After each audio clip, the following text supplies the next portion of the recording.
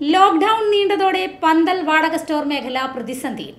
Store തുറക്കാത്തതിനാൽ ലക്ഷങ്ങൾ വിലയുള്ള electronic ഉപകരണങ്ങൾ ഉൾപ്പെടെ കേട് സംഭവിക്കുന്ന അവസ്ഥയിലാണ്. ഇന്ത്യയിൽ കോവിഡ് ബാധ സ്ഥിരീകരിച്ചതോടെ പ്രതിസന്ധിയിലായത് പന്തൽ വാടക സ്റ്റോർ വ്യവസായികളാണ്.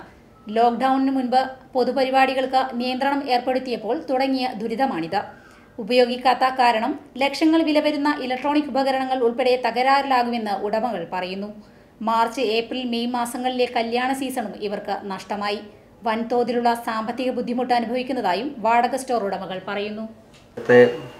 പ്രത്യക്ഷമായിട്ടുള്ള കൊറോണ വന്ന കാരണം നമ്മുടെ വാടക സ്റ്റോർ അസോസിയേഷനും മറ്റുള്ള ആൾക്കാരെല്ലാം കൂടിയിട്ടുള്ള മെമ്പർമാർ എല്ലാ മെമ്പർമാരും വളരെ ദയനീയമായിട്ടാണ് ഇപ്പോൾ ഉള്ളത്. നമുക്കുള്ള സീസൺ ടൈമാണ്. ഇപ്പോഴാണ് പരിപാടിയും കാര്യമെല്ലാം ഉള്ളത്. അത് ഒട്ടാകെ പോയി. പരിപാടിയെല്ലാം നിശ്ചയിച്ച കല്യാണം എല്ലാം മുടങ്ങി.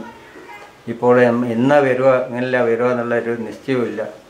ഇത് കഴിഞ്ഞ് കഴിഞ്ഞ് കഴിഞ്ഞാലും വാടക സ്റ്റോറിന് എന്ന് പണിയുണ്ടാവും എന്നുള്ള ഒരു പ്രതീക്ഷയില്ലാത്ത മട്ടിലാണ് വളരെ ദയനീയമായിട്ടാണ് ഓരോ മെമ്പർമാരും ഉള്ളത്. തൊഴിലാളികളും എന്റെ ഭാഗത്ത്. എല്ലാ തൊഴിലാളികൾക്കും ഇപ്പം ഭയങ്കര ബുദ്ധിമുട്ടും കാര്യം. ഇപ്പം പെരുന്നാളുണ്ട് അന്ന്.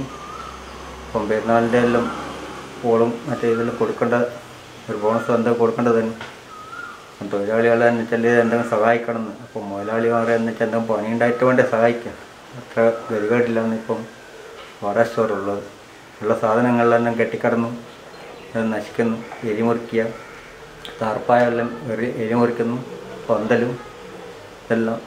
ഇപ്പം ഗവൺമെന്റ് എന്ന് വെച്ചാൽ ഒരു ദിവസമെങ്കിലും തുറന്ന് നിന്ന് ഷോപ്പൊന്ന് നോക്കാമെന്നുള്ള ഒരു ഒരാശ്വാസമാണ് പഴയ മുതലാളിമാർക്കും.